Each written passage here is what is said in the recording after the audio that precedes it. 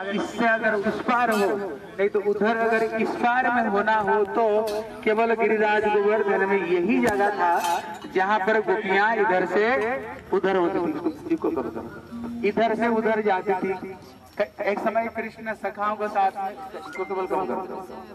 एक समय कृष्ण अपना सखाओं के साथ में गैया चराने के लिए यहीं पर आते थे इसलिए कहते ना, जहाँ चलो गोपी चलियो जहाँ मिले ब्रजराज। हाँ, गोरस बेचन हम चले एक पंथ दो का। इसलिए गोपियाँ जो दूध दही बेचने आती थी क्या सचमुच से दूध दही बेचने आती थी? बोले नहीं।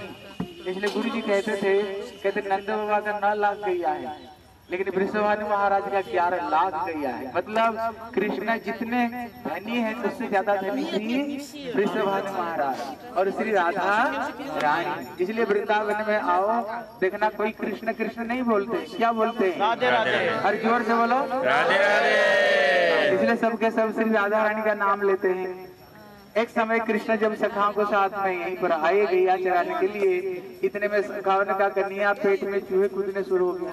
मतलब भूख लगने लग गई इसलिए कुछ व्यवस्था करो, बोले चिंता क्यों करते हो? चलो, यहीं पर कृष्ण अपना ग्वाल बालों को लेकर कृष्णा यहीं पर आए और यहीं पर खड़े होकर के ब्रज गोपिया, भागुर ऋषि ने अनाउंसमेंट किया। बोले, देखो, गर्गाचार्य ने कभी जो गोविंद कुंड पर यज्ञ हो रही है ये यज्ञ के लिए जो दूध दही लेकर के जाएगा और वहाँ पर सेवा में लगेगा, उनको मन की सारे वासना कामना पूरी होगी और गोपियाँ भी दूध दही लेकर के आती थी। कृष्णा यहीं पर खड़े होकर के गोपियों का रास्ता को रोक लेते थे।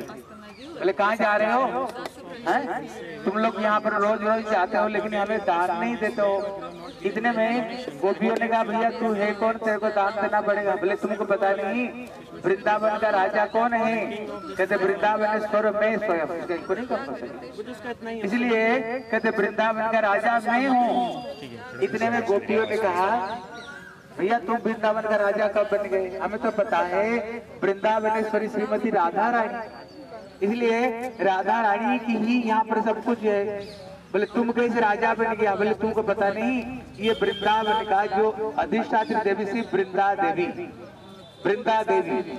इसलिए वृंदा जी को साथ में मेरी शादी हुई। अभी जब किसी लड़की को साथ में, किसी लड़का का शादी होती है, कहते लड़की का जितने सारे संपत्ति लड़का का हो जाता है। इसलिए तुम लोग को इतना पता नहीं, इसलिए वृंदा देवी से मेरी शादी हुई। बोले हमें तो पता है, वृंदा देवी श्री राधा रानी की अधीन में रहने वाली, उनकी सखी है। बोले वृंदा देवी को बुलाया जाए, वृंदा देवी को बुलाया। वृंदा देवी को बुला करके बोले वृंदा ये काले छोरे को जानते हो? ये काले लड़के को जानते हो? बोले मैं तो जानता नहीं। बोले ये क्या कहता है तेरी साथ में इसकी शादी बोले इसका स्वभाव बहुत गड़बड़ स्वभाव है। ये ब्रज में जिसी गोपियों को देखे ना वो सबको सोचता है ये मेरी सबको बिकी है सबके सब हाँ मेरी सखी इसका स्वभाव बहुत गड़बड़ है। ये काले को भी जगत में कोई पसंद करते हैं? ये ऊपर देखने काले और अंदर में भी काले हैं। इसलिए हम तो श्री राधा रानी की दासी हैं। इतने में तब वहाँ पर श्री बोले श्रीमती राधा रानी की इतने में लेकिन ब्रज गोपियाँ जो दूध दही बेचने आती थी उसका जो तात्पर्य क्या था? तो तात्पर्य है, वो कृष्ण के लिए ही, दर्शन के लिए कृष्ण को खिलाने आते थे। यहीं पर ब्रज गोपियाँ श्री श्याम सुंदर को, सखा को दूध दही, यहीं पर उन्होंने दान दिए। इसलिए ये स्थान का नाम पड़ गया दान, घाटी दान पड़ गया। कहते जो गिरिराज गोवर्धन है, इसलिए इनका एक नाम है सर्व अभिष्ट प्रदाता सर्व अभिष्ट प्रदाता मतलब क्या है? कहते ये गिरिराज गोवर्धन को अगर कोई परिक्रमा करे, गुरुदेव कहते थे, जो परिक्रमा करता है गिरिराज की, कृष्ण उसको पीछे पीछे पीछे पीछे पीछे पीछे चलते हैं। क्यों? बोले, इतने कष्ट करके ये मेरी परिक्रमा लगा रहा है, क्या मांगेगा? इसलिए उसको जो कुछ मांगे, धन, दौलत, पुत्र, परिवार, दुनियादारी, जो कुछ मांगे, गिरिराज गोवर्धन सब इच्छाओं को गिरिराज पूरी कर देते हैं। बोले श्री गिरिराज बाबा की इसलिए आप लोग परिक्रमा करते करते देखना, जो गिरिराज शिला है, शिला के ऊपर में सब शिला रखा हुआ देखोगे। बोले, क्यों? बोले, जिसको जितने मंजिली मकान चाहिए, कभी ये गिरिराज शिला के ऊपर जितना शिला रख लो ना, गिरिराज गोवर्धन उतना मंजिली मकान दे देते आप देखना, पेड़ पेड़ में गांठ लगाया हुआ, देखना, रस्सी धागा हुआ। बोले, क्यों? बोले, जिनकी नौकरी नहीं लगती है, जिनकी बेटा बेटियों की शादी नहीं होती है, ये गिरिराज में अगर प्रार्थना कर तो गिरिराज जी सब इच्छाओं को पूरी कर देते थे। लेकिन ये गुरुदेव कहते थे, बोले, सावधान। कहते, ये गिरिराज तो बड़े दयालु, बड़े कृपालु है। लेकिन उनको ये दुनियादारी चीज़ को मत मांगना। क्यों? कहते, ये धन, दौलत, पुत्र, परिवार, ये आसानी से गिरिराज गोवर्धन दे देते हैं। लेकिन एक चीज़ मांगो, गुरुदेव कहते थे, गिरिराज को सोचना पड़ता है। बोले, क्या है?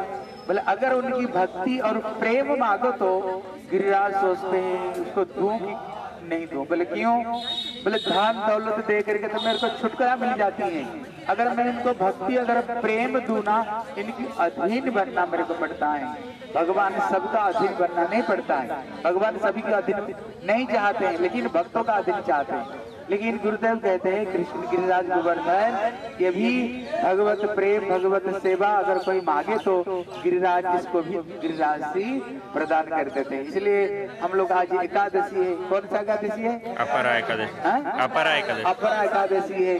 हैं? इसलिए आज एकादशी का दिन गिरिराज परिक्रमा लगाना बहुत भाग्य की बात है। बहुत भाग्य की बात है। क्योंकि हमारे जितने गोस्वामी हुए हैं ये सबके सब गिरिराज की परिक्रमा और सबके सब गिरिराज की चरण में आश्रय मांगे। इसलिए रघुनाथ दास गोस्वामी कहते ना, निज निकट निवास गोवर्धन पूर्णाधाम हे गिरिराज गोवर्धन, आप कृपा करके अपना चरण में हमें स्थान प्रदान करो।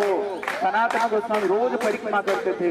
रघुनाथ दास गोस्वामी रामानंद श्रीनिवास, कृष्णदास कविराज गोस्वामी, हैं? और हमारे भक्ति नारायण गोस्वामी महाराज की। कहते इन्होंने ही जहाँ पर हमारी गौरी मठ बनाए गुरुदेव यहीं पर रह करके रोज रोज गिरिराज की परिक्रमा दो दो लाख हरिनाम गोस्वामी ग्रंथों को गुरुदेव ने यहीं पर कठोर साधन भजन किया और गिरिराज की कृपा से ही गुरुदेव एक दिन क्या किया?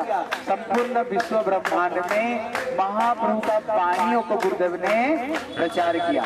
इसलिए हम भी गुरु जी के आशीर्वाद में आए हैं। हम भी गिरिराज से प्रार्थना करेंगे, हे गिरिराज गोवर्धन, हमें भी अपना चरण की सेवा और भगवान की भक्ति प्रदान करो। हम अलग अलग स्थान पर हम सबके सब कथा सुनते सुनते जाएँगे और कीर्तन करते करते और भगवान का नाम करते करते। बोले, श्री गिरिराज बाबा बोले, गिरिराज गोवर्धन की